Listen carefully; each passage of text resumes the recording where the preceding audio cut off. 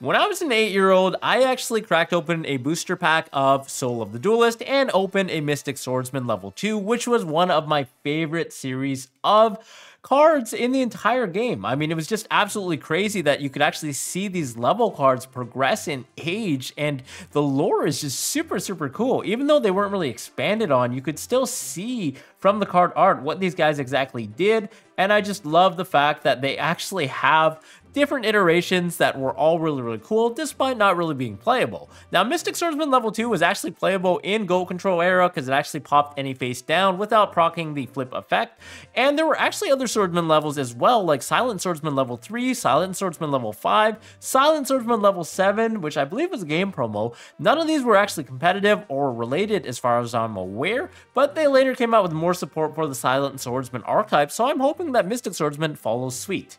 What do you guys think?